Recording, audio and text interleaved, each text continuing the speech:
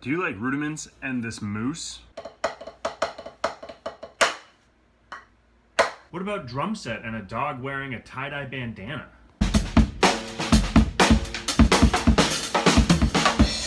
Well, my name's Eric Proctor, and I also like all of those things.